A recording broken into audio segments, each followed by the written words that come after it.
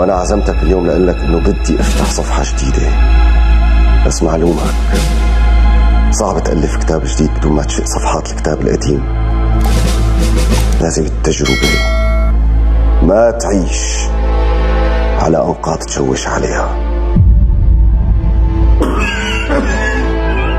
وعدتك ما تشوف الضوء.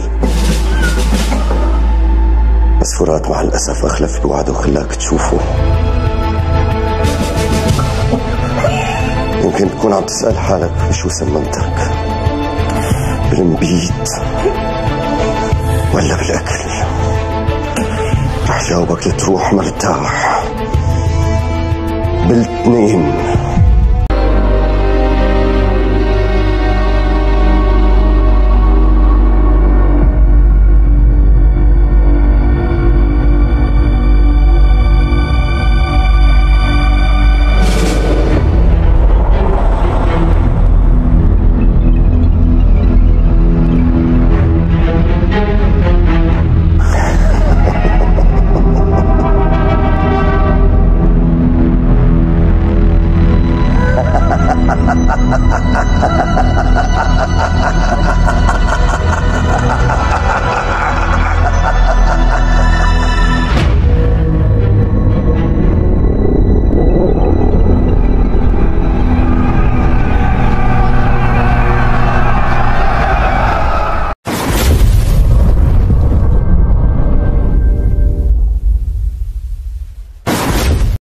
مساء الخير عن جديد وأهلا وسهلا فيكم متابعيني الأفاضل على قناتي على اليوتيوب. ومرة جديدة رجعت لكم بفيديو جديد. أهلا وسهلا فيكم مساء الخير على الجميع. ورح نحكي اليوم بآخر شيء ممكن نحكيه عن مسلسل ابتسم أيها الجنرال والحلقة الأخيرة والابتسامة اللي ابتسم فيها الجنرال اللي أخيرا عم نستنى آه، الفكرة من المسلسل أو الفكرة من الاسم. ابتسم أيها الجنرال. فكان المسلسل بشكل عام عم يدعي الجنرال للابتسام وأخيرا ابتسم الجنرال. كيف؟ ليش ابتسم؟ هلأ رح نشوف مع بعض. إذا بتتذكروا المشهد اللي بالجامع اللي قتل فيه أصلان آه، اللي هو يعني قمع أو أو أنهى حالة الانقلاب أو التمرد عليه وعلى أخوه ولما كانوا بالتوافق مع بعض ومتفقين مع بعض. بالتآمر أو أو بالتعامل مع حيدر وبالتنسيق مع حيدر وكيف تمت الخطة وكيف قضى على أصلان بطلقة رصاصة على جبينه في قلب المسجد وكيف ابتدأ ابتدأت الهتافات وهو أصبح في حالة من النشوة. حال حالة حالة النشوة هي آه اللي أول مرة بيحس فيها واضح أنه لأول مرة بيحس فيها بيحس أنه فعلا انتصر فعلا الأمور استتبت له. لكن في سياق الحلقات اللي جاي بنشوف إنه اللي مهد لهي العملية واللي حماها ودافع عن عن فرات ونسق عسكريا وامنيا هو عاصي. فلهيك أحس عاصي فعلا إنه هو آه، له حصة كبيرة في في مشروع الدولة أو في هي الدولة وإنه اخوه فرات هو آه، شخص لا يمكن إدارة هي البلد وإنه في حمايته آه، عايش عايشين عيل عيلته كلها عايشين بحماية آه، عاصي. وتم فعلا التواصل تواصل عاصي مع بعض الدول والتنسيق لانقلاب على فرات واستلام الحكم بدل فرات. لكن فرات كان أشطر منه وأذكى منه وتعامل مع إسرائيل ببعض القضايا المهمة وأغلق الملف لصالح فرات. آه، المسلسل يا جماعة عم يعطي آه، حالة من السرد السرد التاريخي بشكل أو بآخر طبعا. ما فينا نقول سرد تاريخي توثيقي يعني ولكن هو كدراما عم يعطي سرد تاريخي للأحداث. فهو ربط آه، المسلسل والكاتب والمخرج ربطوا آه، حقبتين مع بعضهم في هذا المسلسل. فكان لابد لابد بمرحلة من المراحل إنه هي المراحل تتفكفك عن بعض. آه لما شفنا مثلا حافظ أسد كيف قضى على الانقلاب أو حالة التمرد اللي من قبل اخوه رفعت الأسد وتم إبعاده بشكل أو بآخر ببعض التفاهمات وتم سلب سلب البنك المركزي السوري من قبله بعدة مليارات من الدولارات. وفتح أو أو أقام إمبراطورية مالية بفرنسا. آه، أيضا بالوقت الراهن آه، كلنا صرنا بنعرف سيطرة أسماء الأسد وماهر الأسد على الاقتصاد السوري أو سيطرة أسماء الأسد على الاقتصاد السوري بحماية ماهر الأسد وإيران. أيضا كان لابد لفرات أو للمسلسل أنه في هذا السياق الدرامي يكون في حل أو في آه، شيء لازم ينعمل. لفصل هاي الحالة آه، عن الق- المست- القديمة عن عن ما يجري الآن وخصوصا في دولة الفرات خلينا نقول في دولة الفرات.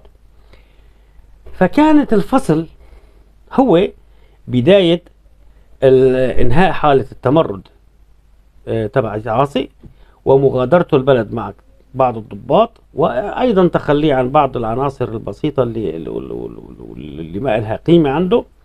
وكيف آه، كيف بدأ يلتقي مع الاستخبارات الدولية أو بعض الدول في الاستخبارات ويمهدوا يمهد هو وياهم لرجوعه للبلد. لكن آه، في المقابل في في البلد في بلد فرات في حالة آه، أصبحت واضحة وصريحة وهي أنه استتب الأمر لفرات ومع ذلك فرات كان محتاط جدا من حيدر مثلا كيف إنه نفذ أو أو أو حاول يتنمر على عاصي ويتنمر على اي على شخص أشخاص تانيين بدون حتى تصوروا انه إنه إذا بده يتنمر حيدر هو هي أعلى سلطة أمنية موجودة تحت إيد فرات.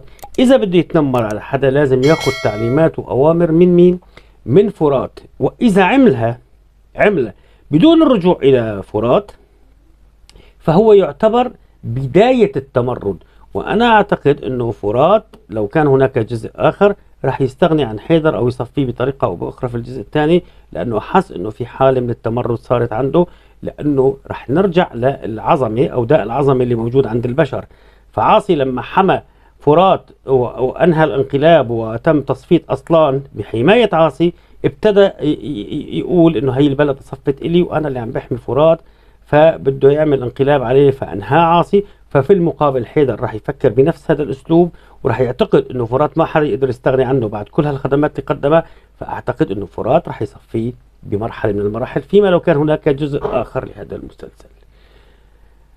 أما ابتسامة الجنرال أيها السادة والسيدات فهي ابتسامة يعني واضح واضح إنه هي الابتسامة ابتسامة إجرام ابتسامة شماتة ابتسامة حقد ابتسامة آه، شخص آه، حقير ابتسامة ندالة انتصر فيها على أعدائه بالخبث بالخدعة ب- ب- ب- ب- ب- باللا شرف بعدم آه، اتباع الأصول المنافسة الشريفة بكل الأساليب استخدام كل الأساليب الحقيرة للقضاء على أعدائه وابتسم هي الابتسامة. ولاحظوا إنه يوم اللي قتل اصلان ما ابتسم لكن يوم اللي قتل صهره جوز اخته وزير دفاعه وأقرب الناس وأخلص الناس له ابتسم. لاحظوا إنه أصلا كان عم يعمل حالة تمرد أو انقلاب عليه لما قتله ما ابتسم. لكن لما اخرج أخرج صهره آه، من السجن زين الدين أخرجوا من السجن وبعثوا على إسرائيل. وأعادوا للدولة وكرموا ورجعوا لزوجته أو لأخته ورجعوا لبعض و آه، ولا وزارة الدفاع. ومع ذلك ما نسي فرات إنه في يوم من الأيام قال له أنا بوعدك ما خليك تشوف الشمس. وتيقن من خلال الحوار اللي صار إنه آه، صهره أو وزير دفاعه في له نفس امريكي أو نفس حالة من التمرد أو في في نوع من ال ال ال العلاقة الخفية بينه وبين الأمريكان من خلال آه، قضية الديك الرومي المعروفة في آه، في أعياد في أعياد الميلاد عند الأمريكان. فهو خطط ليصفيه بهي الطريقة ال- ال- يعني طريقة الأكل الأمريكية بعيد الشكر أعتقد. هو عيد الشكر عند الأمريكان وبياكلوا ديك رومي فصفاه بنفس الطريقة اللي بيشوفها هي مناسبة لحتى يقول له للأمريكان إنه أنا هذا عميل لكم وإنتوا قدرتوا تتواصلوا معه قدرتوا تجندوه لكن أنا اتخلصت منه بكل سهولة. الحقيقة آه، هاي الابتسامة أنهت حقبة كاملة اليوم اللي قتل أو ل- لصهره ووزير دفاعه فراد. فهذا عمليا أنهى حقبة كاملة. كان فيها عصر أو زمن من أبوه أو أشخاص موجودين أيام أبوه أيام العهد القديم.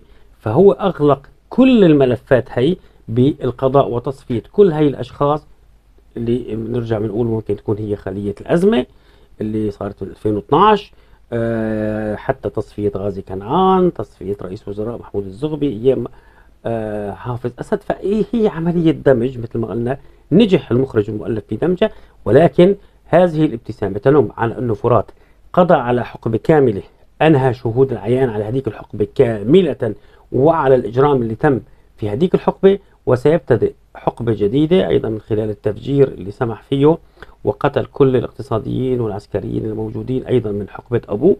وابتداء ابتدأ ابتدأت الحقبة الاقتصادية الجديدة وأيضا راح يكون في حقبة عسكرية جديدة يعتمد عليها. الحقيقة في كتير ظلم لهذا المسلسل في كتير يعني عم بيقولوا تأويلات كتيرة عم بيتهموه اتهامات كتيرة. العمل عمل درامي آه، عمل آه، آه، يعني مثله مثل أي مسلسل موجود عم يطرح قضية قابلة للنقاش. اتهامات كتير وجهت له. تم الدفاع عنه بشكل مستميت أيضا. طبعا في أخطاء كتيرة في الإخراج في أخطاء كتيرة في الممثلين وخصوصا الممثلين الثانويين آه، نحن ما عم ننقد هذا يعني للأسف أنه صار الكل بده ينقد المسلسل ويعتبر يعني ينصب نفسه ناقد فني لهذا المسلسل. آه، يعني ما بظن إنه هذا انظلم صحيح. في النقد اللي توجه له آه، ظلم وفي المديح الزائد اللي توجه له أيضا ظلم هو عمل فني درامي له له ما له آه، عليه ما عليه فيه أخطاء. في ابتكارات جديدة في مدرسة جديدة في أسلوب جديد في ال في ال في الكتابة في الصياغه الأدبية في أسلوب جديد في الإخراج واستخدام الكاميرا. في خلل في أخطاء في عثرات كثيره أيضا موجودة ممكن الواحد ينتقدها ولكن المديح الزائد له والنقد الهدام له فيه ظلم كثير له أنا يعني خلصت الفيديو تبعي اليوم بتمنى تتابعوني إذا عجبكم المحتوى تبعي تشاركوا لأصدقائكم. بتمنى تدعموني وتضغطوا زر اللايك وتفعلوا زر الجرس ليوصلكم كل جديد. بتمنى تضيفوني تضيفوا أشخاصكم واصدقائكم آه، يعني تنصحوهم إنه يشتركوا بقناتي لحتى آه، أطورها أكثر وأطرح فيها قضايا مهمة أكثر أنا خلصت آه، الفيديو اليوم وتحياتي لكم والسلام.